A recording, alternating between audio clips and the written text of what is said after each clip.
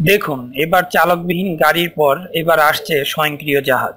জাহাজ চলবে, কিন্তু তাতে চালক থাকবে না। গোটা জাহাজের নিয়ন্ত্রণ থাকবে যন্ত্রের হাতেই। আবহাওয়া ইত্যাদি বিশ্লেষণ করে যন্ত্র বেছে নেবে গন্তব্যের নিরাপদ রুট। অত্যাধুনিক প্রযুক্তিকে কাজে লাগিয়ে এই সেলফ নেভিগেটিং বা সেলফ পাইলটিং জাহাজ নিয়ে আসছে জাপানি এক সংস্থা। এর মূল উদ্দেশ্য সামুদ্রিক দুর্ঘটনা এড়ানো।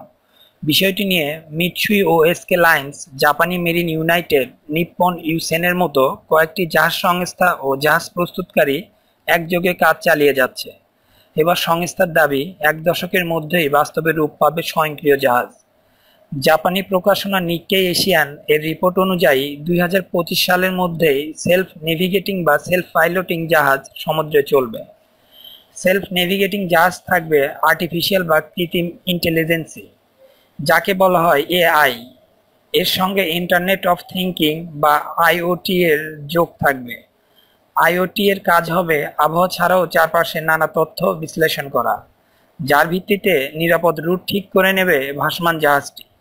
নিক্কে এশিয়ার দাবি, জাহাজ প্রস্তুতকারী কোম্পানি জাপান মেরিন ইউনাইটেড তাদের নতুন দুইশো পঞ্চাশ জাহাজে সেলফ নেভিগেটিং প্রযুক্তি ব্যবহার করবে। আমার এই চ্যানেল হতে আপনারা যদি আরও লেটেস্ট নিউজ পেতে চান, তাহলে অবশ্যই সাবস্ক্রাইবের মাধ্যমে আমার সঙ্গে থাকুন। ধন্যবাদ সবাই